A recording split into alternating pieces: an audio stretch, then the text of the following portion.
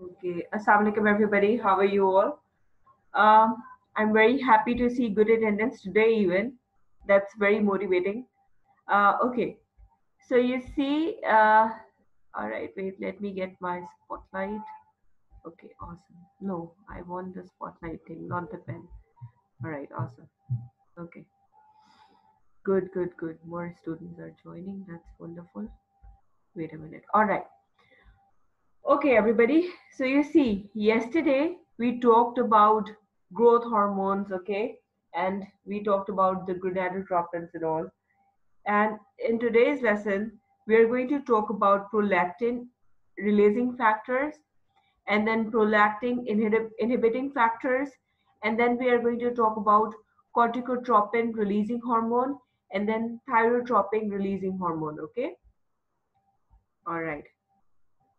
So, wait a minute. Wait, I have to admit somebody here. All right. Okay. So, you see here, uh, yesterday we discussed that hypothalamus is going to affect, right? And then it will release hormones that will trigger somatotrophs and gonadotrophs, right? Today we are going to talk about uh, lactotrophs, thyrotrophs, and corticotrophs, right? okay, so if you uh, start from the first one, that hypothalamus will release CRH, that is corticotropin releasing hormone. So if you see, it's it, it will uh, produce an impact on the anterior pituitary gland, all right, and as a result, cortico tropes will be activated okay? And then adrenaline gland will be in uh, you know triggered and then the release will start. Similarly we have uh, trh which is thyrotropin releasing hormone. It will go to uh, eh, first of all it will trigger the anterior pituitary gland. It will release tsh they will go to thyrotrophs and then thyroid gland will be activated, right? Okay. Then we have uh, PRL, that is prolactin releasing hormone. Okay. It will, uh, the prolactin will go to lactotrophs, right? And then mammary glands will be activated or inhibited by its action, right? Okay. So this is one slide which I want you all to please memorize, okay? That what is the stuff a anterior pituitary gland is producing? What is the stuff which uh, posterior pituitary gland is producing right? Because uh, in my upcoming lecture with, which will be next week i will be talking about it that what's the role of these hormones and what's the role of these hormones okay? Uh, but today's lesson is more again focused towards the hypothalamus. We are not at pituitary gland yet which is the master hormone producer.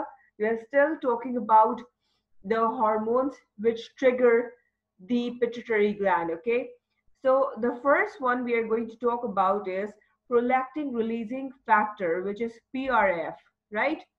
So several peptides, including thyrotropin releasing hormone, which is TRF, TRH, that increase the synthesis and release of prolactin have been identified in the hypothalamus and placenta.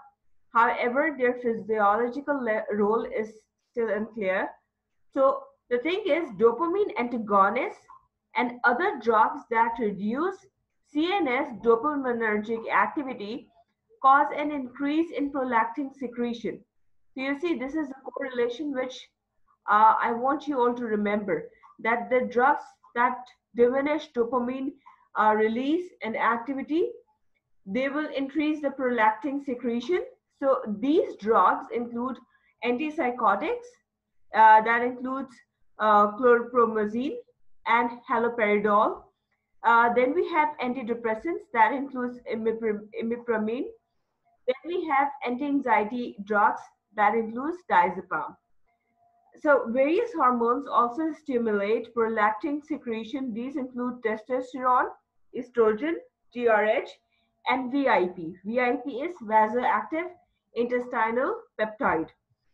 So the drugs that promote prolactin secretions are used to treat lactation failure, um, especially in the mothers who have the newborn babies, but they are unable to lactate.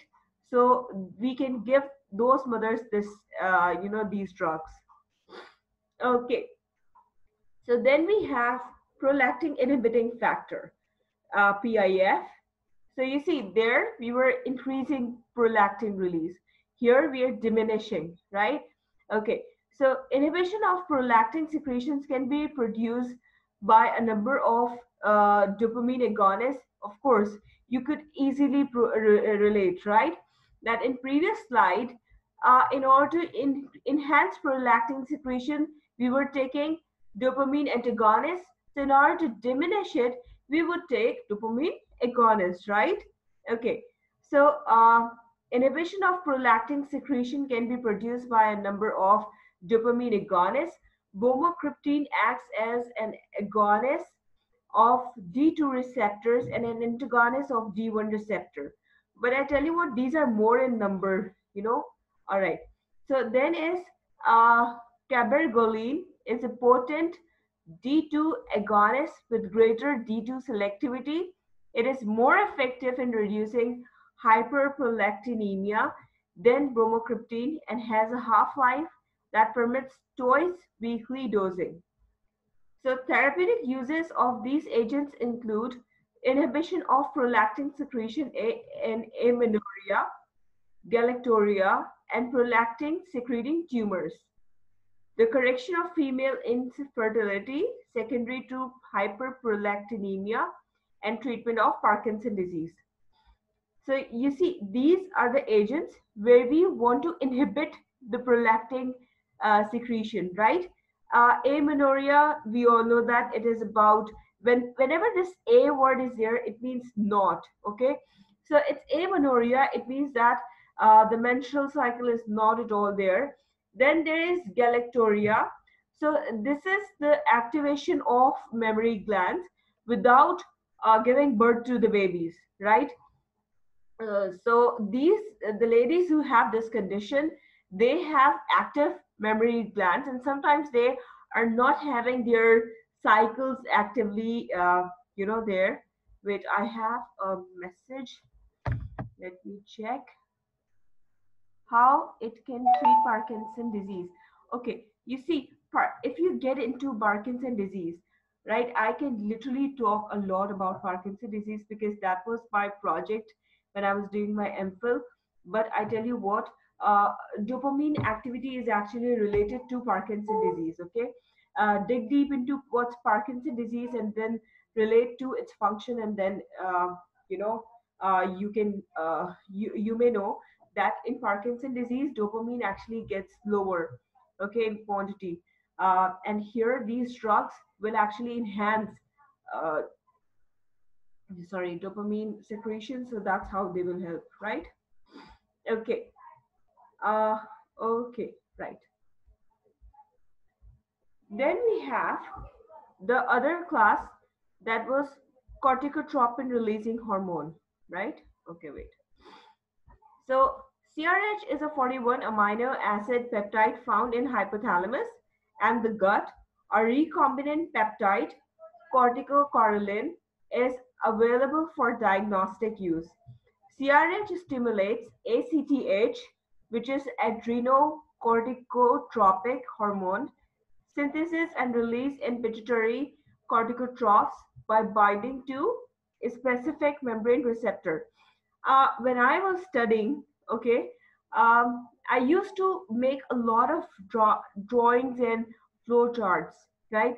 So I would want you also to, you know, make, uh, for example, if I were you, um, so I would be making this uh, flow chart on a paper, and then I would be, uh, you know, jotting down my notes in a few one or two lines or sentences that uh, what exactly each one is doing and how's the pathway going on.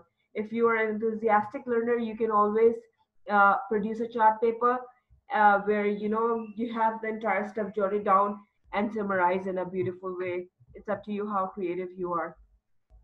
Okay, so coming up back here, so CRH stimulates this and synthesis and release uh, this because of its uh, binding we have already talked about so crh is subject to rapid proteolysis. It must be given uh, iv okay? Because it, it it is subjected to rapid uh, degradation okay?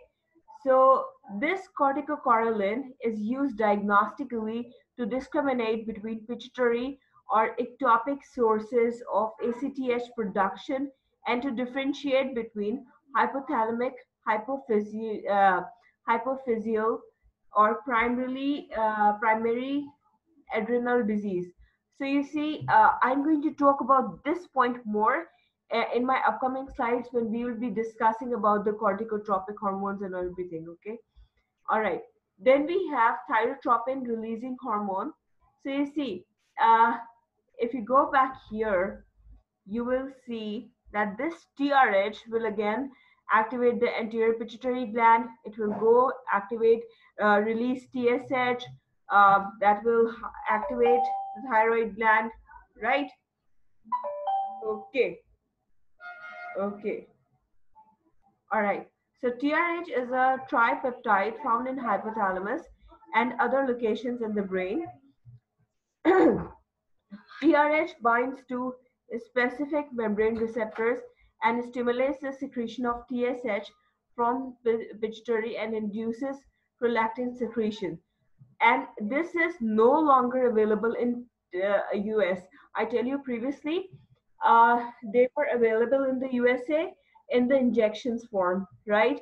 Uh, but later on, uh, their usage was diminished. Why? Because you see, uh, so first of all, eh, the results were not that significant, okay?